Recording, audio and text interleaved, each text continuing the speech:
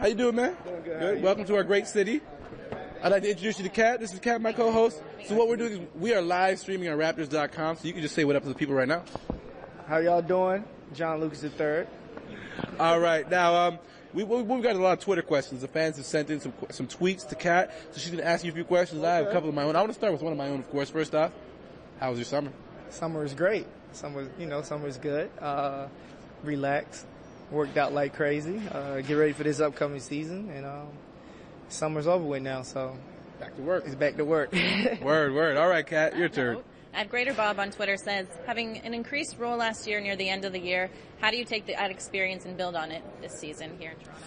Uh, I'll keep building. You know, I'm coming from, you know, Chicago Bulls and coming here, you know, I think I'm gonna bring the same, I, I not think, I know I'm gonna bring the same energy that I brought when I had the opportunity to play there. And, um, you know, I feel like one thing I know that we're capable of doing is making the playoffs this year. And people look at me like I'm crazy when I say that to my friends back home and stuff, but I feel like BC and uh, Coach Casey has been putting in the pieces of the puzzle together to to um, get us to, to turn that other leaf over to get to that level. And I'm looking forward to it. It's a new beginning, new start for I think for myself and for this team because a lot of new faces. All right, now you made the decision to come to Toronto, of course.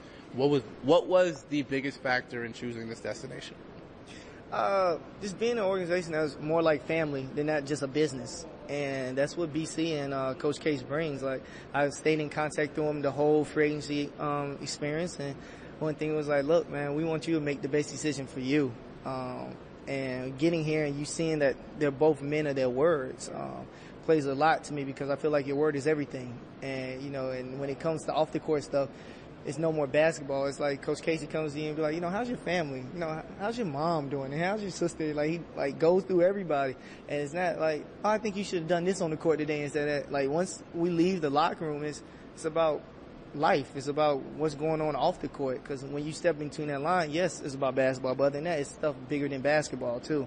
So that's and it gives me like that college feel that you know you got another five. Yeah, so it it, make, it makes you want to go out there and leave everything you have on the line for people like that because they have a good heart and they have a genuine heart and it shows them. It shows you it's not just they're not they're not just about their business. It's about other than that, and that's big.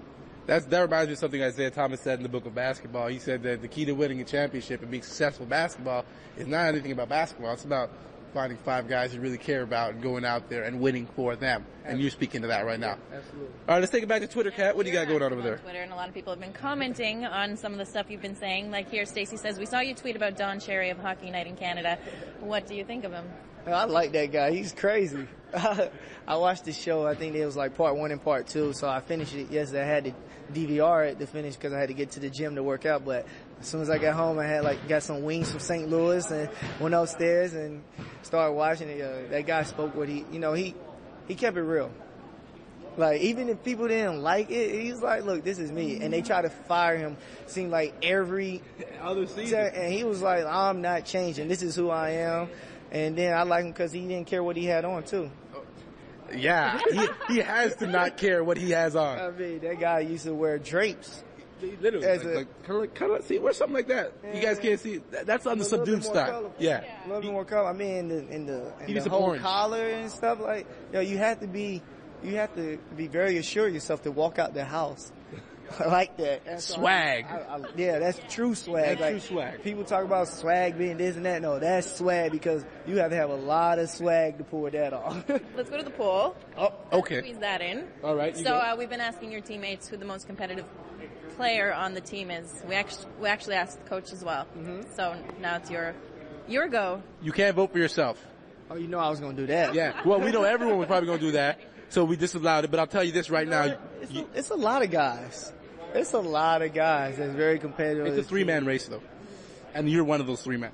Well, I know Kyle is very competitive. Me and him, it gets to a point where we're in each other's face, and that's one of my really good friends. But at the end of the day, Kyle cheats.